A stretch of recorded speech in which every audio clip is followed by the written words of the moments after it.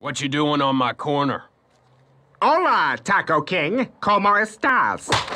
Guess I should have used the formal usted. You're cutting into my business! Oh, come on. I bet if you let me inside your hard shell, I'd find a lump of soft meat. that came out wrong.